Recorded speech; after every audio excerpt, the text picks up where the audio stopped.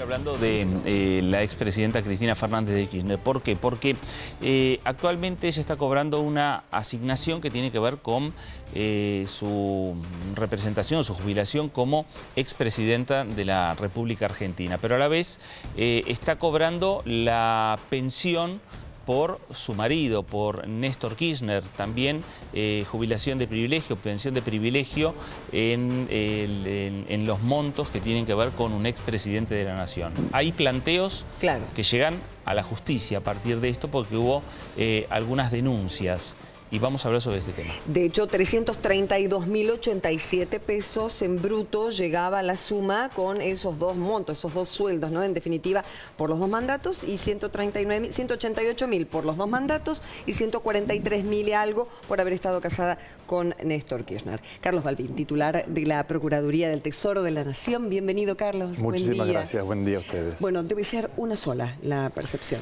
Sí, tal cual. Nosotros interpretamos de acuerdo a la ley que corresponde que la expresidenta perciba solamente una de las dos eh, asignaciones que cobra eh, actualmente. Como dijeron ustedes antes, las dos asignaciones son en concepto, por un lado, de expresidenta de la República y por el otro como viuda del expresidente Néstor Kirchner. ¿Esto qué quiere decir? Que, eh, digo, porque cualquier eh, mujer que se jubiló, que falleció su marido, cobra una pensión. ¿Por qué es el caso diferente en la expresidenta? Sí, eso es correcto. De acuerdo al régimen general jubilatorio, una persona puede percibir una jubilación y una pensión a su vez, pero en el caso de la expresidenta es distinto porque se trata de un régimen jubilatorio de privilegio. Es decir, el legislador ha creado un régimen especial o también llamado de privilegio que alcanza a los expresidentes de la República y a los exministros de la Corte Suprema. Y dado que se trata justamente de una jubilación de privilegio, el legislador ha previsto una prohibición específica que es justamente aquella que establece que no se pueden percibir dos asignaciones simultáneamente. ¿Son de privilegio únicamente para presidencia y ministros de la Corte, no en el caso de los poderes legislativos? No incluso Porque hay casos también de, cónyuges que estén en función pública Así es. y queden, ¿no? Así es. No, no, este régimen comprende básicamente a los expresidentes y a los exministros de la Corte eh, Suprema, no al Poder Legislativo, tampoco al Poder eh, Ejecutivo. Es una modificación que se introdujo ya hace muchos años atrás, justamente suprimiendo las jubilaciones de privilegio respecto de poder legislativo y a su vez poder ejecutivo. Ahora, eh, Carlos, eh, ¿por qué el Estado eh, aprobó, en definitiva, otorgarle estas dos este, pensiones de privilegio, estas dos jubilaciones de privilegio?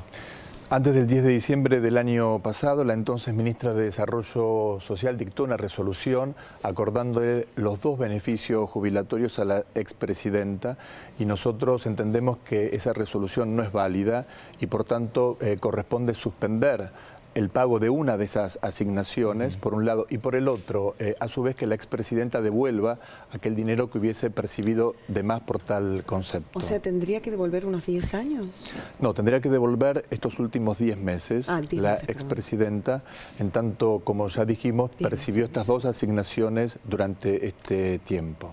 ¿Y no se puede interpretar como que hubo un error del administrativo del Estado y que ella eh, las cobró de, buena fe, en definitiva. Sí, aun cuando nosotros planteamos la hipótesis del cobro de buena fe, la decisión creemos que es eh, eh, ilegítima y por tanto debe suprimirse una de las asignaciones y además, insisto, devolver aquel dinero que hubiese percibido de más. Se trate de un error o no, en cualquier caso, la decisión no es válida y por tanto debe retrotraerse. Esto supone, como ya expliqué, el pago de una sola de las dos asignaciones y a su vez la devolución del dinero percibido de más.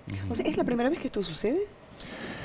Hasta donde yo conozco es la primera vez, porque otro caso semejante al de la expresidenta Cristina Kirchner es el de Isabel Perón. Pero Isabel Perón percibe una sola de esas asignaciones y no las dos eh, asignaciones. Eh, esto, ¿Esta suspensión es automática?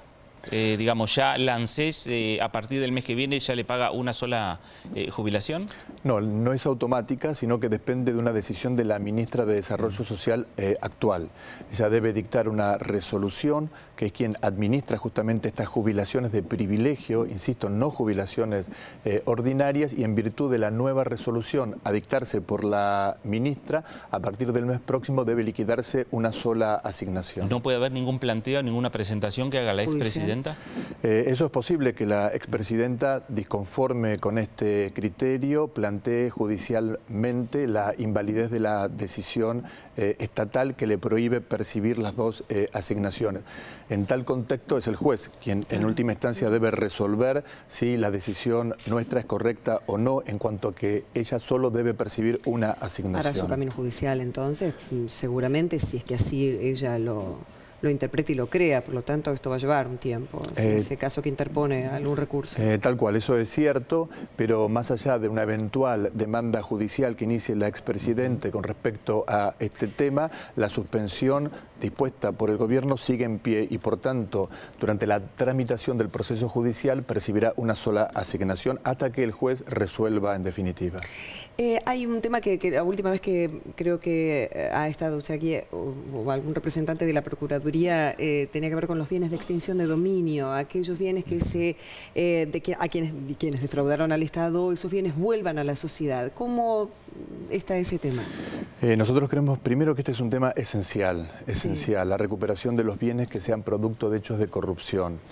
En segundo término, se aprobó por parte de la Cámara de Diputados un proyecto de ley en este sentido eh, se giró a la Cámara de Senadores y en el Senado se está discutiendo justamente las modificaciones a ese proyecto de ley.